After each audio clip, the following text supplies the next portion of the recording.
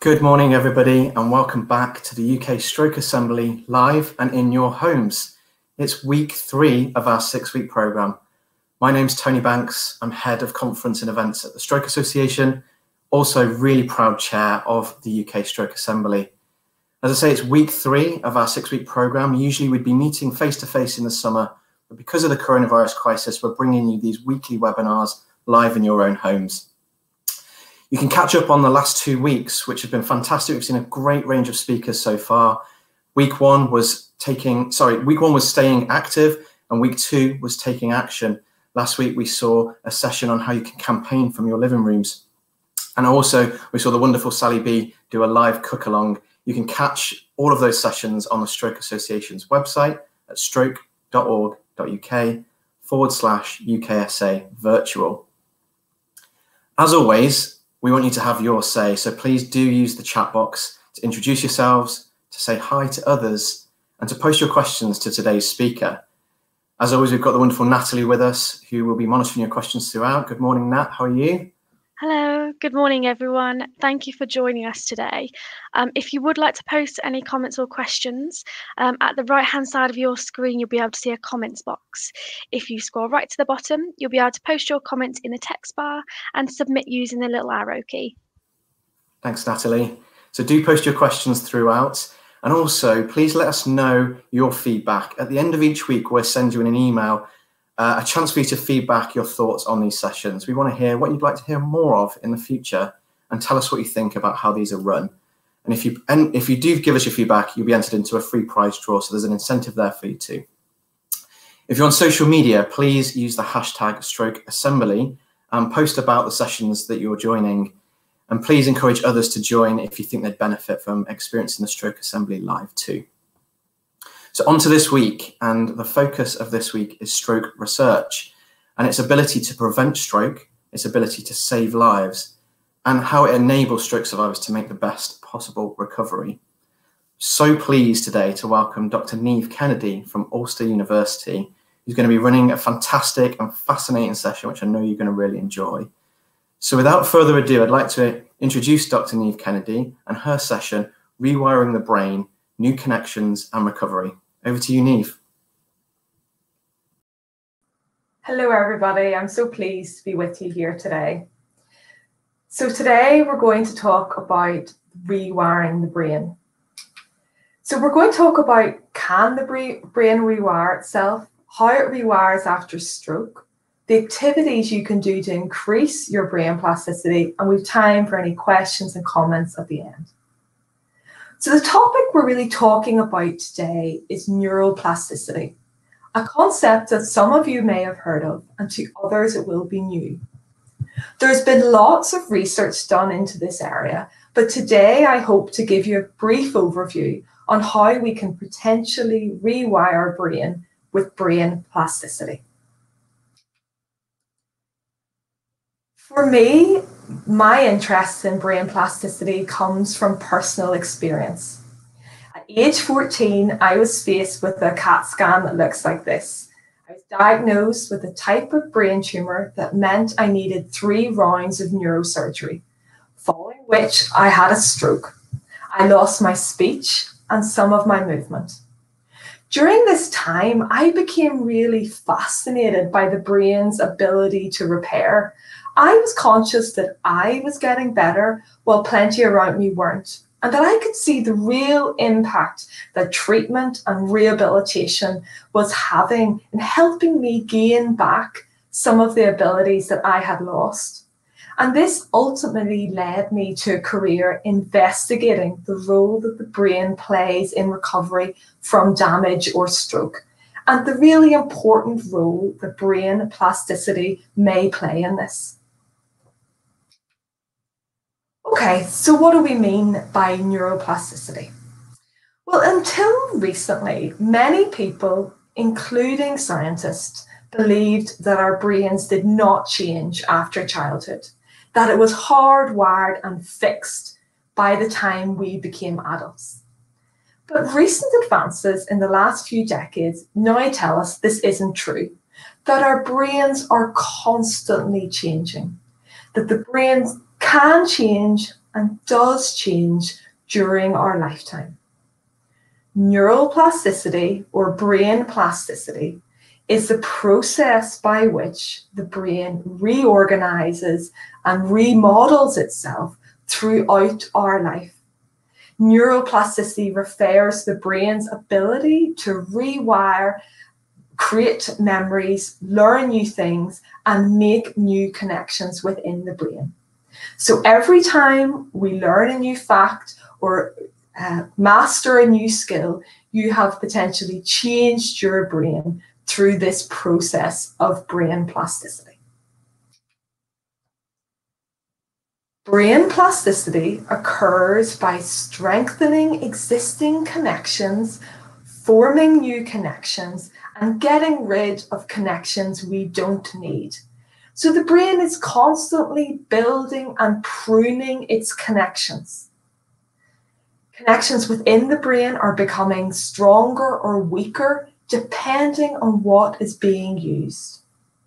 With every repetition of thought, of skill, we are reinforcing a neural pathway. These small changes, frequently enough repeated, lead to bigger changes within our brain and how our brain works. So basically, neural plasticity is like the muscle building part of our brains. The things that we, we do more often, we become stronger at. The things that we don't fade away, and these pathways become weaker. We can increase our brain plasticity by intensively and repetitively practicing something. This is how we learn a new skill, even complicated things like learning how to ride a bike. With practice, the, our brains and our muscles, the connections between them become stronger, and we become better at being able to do that. So, over time, with practice, the pathways within the brain for those skills or functions, whether it be juggling, learning a musical instrument, learning a new language, or learning how to ride a bicycle, become stronger and therefore we get better at the task. This practice also helps strengthen the connections between our brains and the rest of our body, all the rest of the muscles in and limbs in our body. So obviously our brains being plastic and giving us the opportunity to reorganize, rewire and remodel our brains is important for all of us. But there is key times in our lives when neuroplasticity is crucial.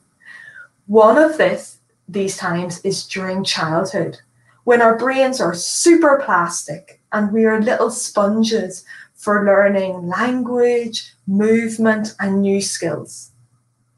The other time is after brain damage, such as a stroke, when brain plasticity may help us recover. After a stroke, certain parts of the brain can become damaged.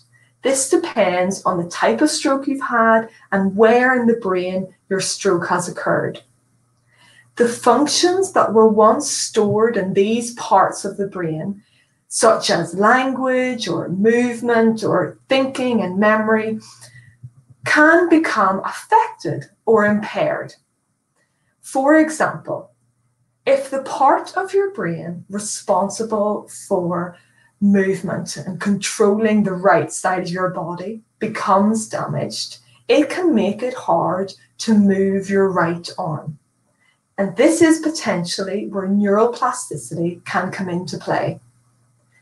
Neuroplasticity may allow your brain to rewire functions that were held in those damaged areas, such as language and movement, over to healthy parts of the brain that haven't been damaged by the stroke, or can help rewire connections around the damaged area to help maintain those functions. There has been lots of research into this area, and there has been a lot of things that over years of rehabilitation and, through research, we can see that have been demonstrated to increase brain activity, increase brain connectivity, and potentially increase brain plasticity. I'm just going to take a moment to talk through a few of these. So, we all know that exercise can have a very beneficial effect on your body, but it can also have a beneficial effect on your brain. This includes boosting brain chemicals that are associated with brain plasticity. Exercise doesn't have to just be hopping on a treadmill. It can be activities such as getting out and walking and gardening and basically uh, increasing your movement. Learning a new skill can also increase and strengthen the brain plasticity. And this strengthens connections between your brain and your muscles. Music has also been incorporated into stroke rehabilitation as it can increase activity and connectivity in your brain after stroke. It can also be used, like the beat of the mu- music can be used to help pace um, relearning tasks such as walking. And that helps us find a natural rhythm to walk to. Visualization, including mental imagery or motor imagery, which is imagining a, a movement without actually doing it. This shows that this, even just imagining doing the movement, can increase activity in the areas of the brain involved in the movement without actually moving the muscles. Social interaction, including spending time with friends and family, has been shown to induce plasticity related changes in your brain. Reading mathematical and logical problems, crosswords, all these sorts of you know, puzzles can also increase brain activity and heighten connectivity within your brain. Things such as mindfulness and yoga have been shown to decrease stress, which is really important because it's shown that stress can reduce this brain reorganization, this plasticity. And also, if the people out there who are feeling particularly ambitious, learning a new language has been shown to have beneficial effects on your brain. People who are bilingual have activity in parts of their brain that us individuals who only can speak single languages do not have, showing us that relearning and learning a task definitely changes how our brain works and looks. Now we know more about neuroplasticity through um, research. It might be a good time to just help address some of the brain and stroke recovery myths that are out there. When talking to stroke survivors, one of the things that I am told they have often been told is the level of impairment or the ability that you have at six months or a year is as good as you'll get. This is not the case. Although immediately after your stroke, your brain is at its most plastic and it's very prime for recovery. And that's why we start our physio and our OT and our rehabilitation during this time because your brain is really ready for this and very prime for recovery we now know that stroke survivors can continue to make improvement years and years after their stroke. That with concentrated effort and activity, a stroke survivor can help reorganize their brain long past six months or a year. So, this is a myth that as we learn more about neuroplasticity and this research into this can help us dispel. Now, this is not just an excuse for me to put up a picture of the Giant's Causeway from Northern Ireland, but also to talk about something I hear a lot from stroke survivors. I often hear from stroke survivors and clinicians talk about plateaus, about plateaus in their stroke recovery. It's important to remember that this is a normal aspect of any journey, whether it be recovering from a stroke, losing weight, or training for a marathon. When we are learning new skills or increasing our neuroplasticity, there will be periods where we plateau. But just because we reach a plateau, that does not mean it's the summit. It does not mean it's the top, and it does not mean you cannot move on from it. With focused activity, maybe resetting of goals or trying different exercises or skills or changing things up, it can introduce variety, which can help enhance brain plasticity. And this can help us move on from a plateau.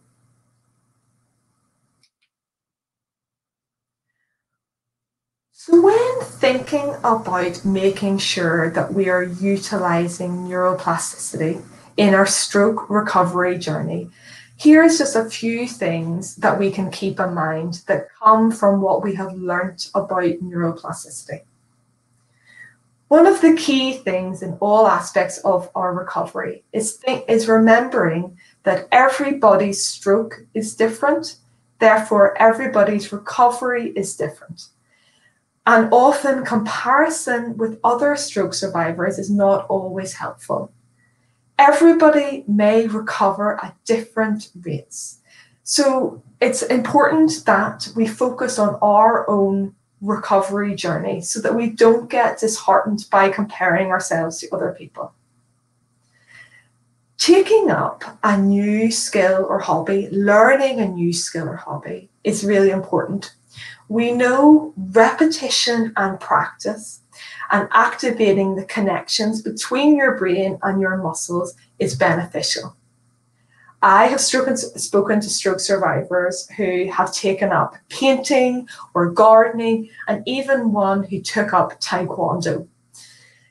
This not only helps us use parts of the body uh, affected by the stroke. For example, if uh, we get really bored uh, or repeating a task such as reaching for a cup to help strengthen our um, our arm muscles after a stroke, doing gardening or painting might be a more interesting, challenging way of, of getting the same movement into our recovery. So it helps us use parts of the body affected by the stroke but also the brain likes learning new things. And this learning can help facilitate reorganization within our brain. And this reorganization and plasticity helps recover some of the function in, um, in our brains. We know that social interaction and a stimulating environment can help increase brain activity. Particularly, this is difficult at the minute because we can't be out seeing people in the same ways as we would normally. But things like getting involved in online and in, in making sure that your social interactions in, uh, stay um, around, that you're still doing things, helps us not only with our mood or our, our motivation, but it also, our brain is a social thing. It likes to the interactions with other people. So you could join a stroke stroke group or another social group, or even if you don't want to, you could volunteer or have a regular catch up with our friends. That this is really important, this social interaction and our our in, interesting environments is important for our keep our brains reorganizing. We know that stroke recovery is hard work, and with any journey, it's important to break it down into smaller goals. So t- sometimes setting a SMART goal, a specific, measurable goal, um, we can use this to help uh, make improvements. It's often difficult to see our own progress, but goal setting can help with this. There's also lots of evidence based rehabilitation techniques that you will have done with your OT, your speech and language therapist, and your physio during your rehabilitation that can also be implemented later on in your stroke journey, such as task training, strength training, exercise, mental imagery. Just because we're out of um, our physio or out of our rehabilitation, inpatient or outpatient, doesn't mean that we can't incorporate some of those techniques that we know work and are important into our day to day lives. Okay, so what is this research telling us about neuroplasticity and how can we incorporate this? Well, something you may have heard physios say, what we know is use it or lose it. The, the skills we don't practice get weaker. Our brain likes to strengthen the pathways between our brain and between our brain and the rest of our muscles. So if you think about what I said about strengthening pathways and weakening weakening pathways that we don't use and that our brain likes to prune our connections it's important that we need to practice the skills that we want to be able to use so as a result repetition matters we must do a task over and over again to actually change the brain and that's why um, during rehabilitation and afterwards like anything, if we want to get good at any skill, we need to practice it. And the same goes in our stroke recovery journey. Also, the intensity matters. You know, like anything, if you want to get good at something, more repetition in a shorter period of time is important for creating new connections. We all know that fatigue after stroke is a big issue, and we have to work within our own um, you know, abilities. But it's important that we know stroke recovery is hard work and that we put the effort into this by ensuring that we have lots of repetition and that we have a good level of intensity, that we are pushing ourselves to try and facilitate and increase this brain plasticity. So, obviously, I think uh, that brain plasticity is a really important aspect of stroke recovery. But it's also important to remember that neuroplasticity is not a miracle worker. If it was, everybody would make a full recovery from stroke, which we know is not always the case. But this is a natural process that's going on inside our brains that we can help enhance and capitalize on within its limits. We want to try and encourage our brain to use this and to use this brain plasticity to help on our rehabilitation and recovery journey. So, in conclusion, the ability for our brains to change, adapt, remodel throughout our lifetime is great news for all of us. There is some key things that we can do to help facilitate and enhance this neuroplasticity. I hope the research in this field continues to learn more and more about how neuroplasticity works so we can gain insights how the how it affects different people and the more that we understand about neuroplasticity, ultimately we can ensure that we utilize this process for the best outcomes for every stroke survivor. Thank you very much. And now Tony and Natalie and I are happy to take questions and comments. Niamh, thank you so much. Uh, absolutely fascinating presentation. Um, Natalie, I can see it's been really busy on the chat box and we've had lots of questions and comments, I think, haven't we? We have indeed. So thank you everyone for sharing your experiences today. Uh, I will just read a few comments um, as I've been going through. So, particularly from Ruth and Ellie. So, Ruth saying, I am nearly four years post stroke and still improving. Um, another positive one from Ellie saying, I totally agree. I took up going back to work. It's actually helped me be more independent and I feel more on my feet than I realised. So, there's some really inspiring comments there.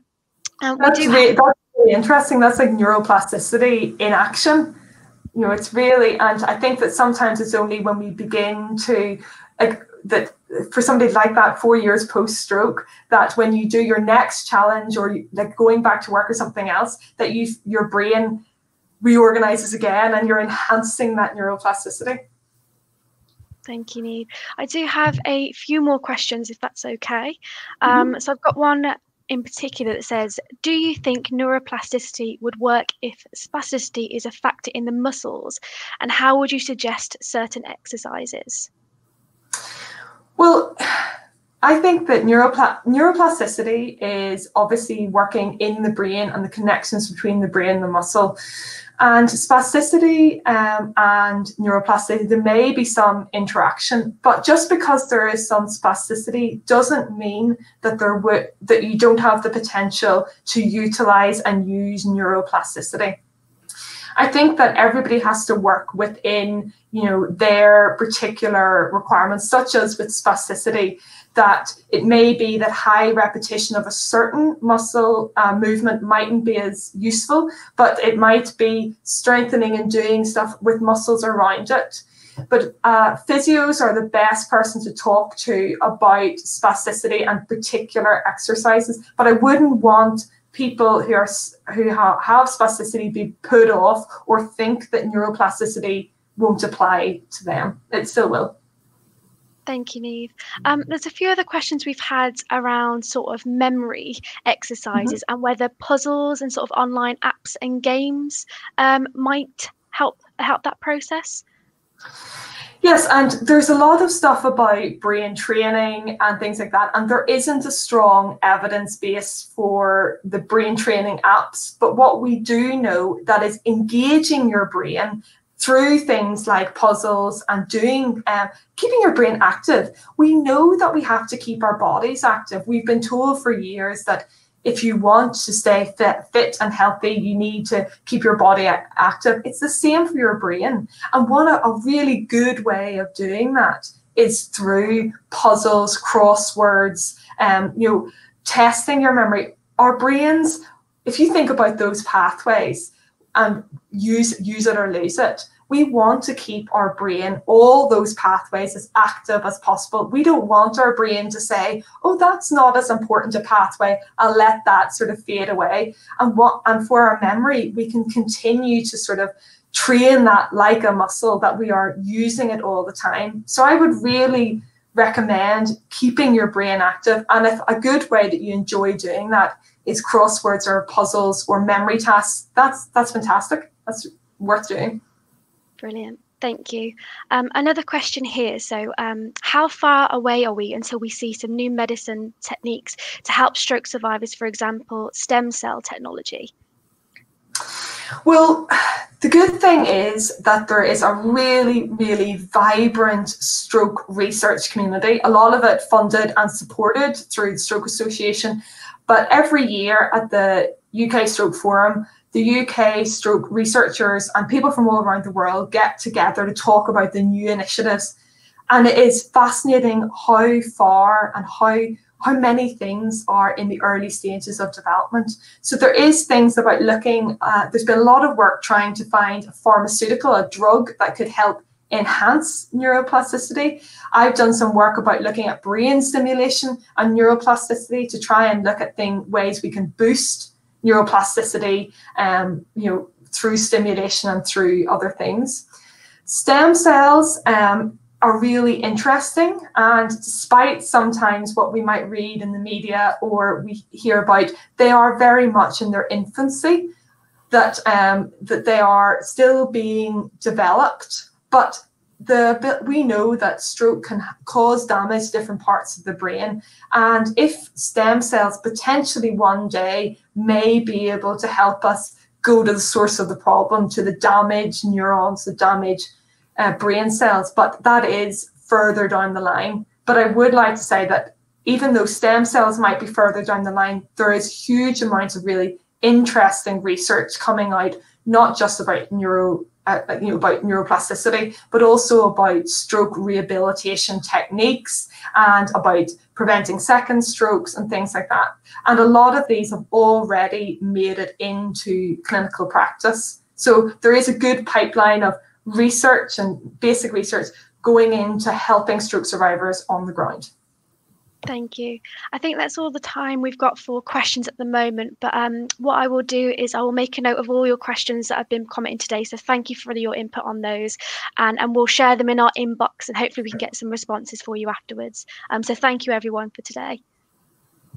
Yeah, huge thank you everyone. Niamh, I think this is a topic people are very very interested in, and clearly we could talk for a lot longer if we did have the time.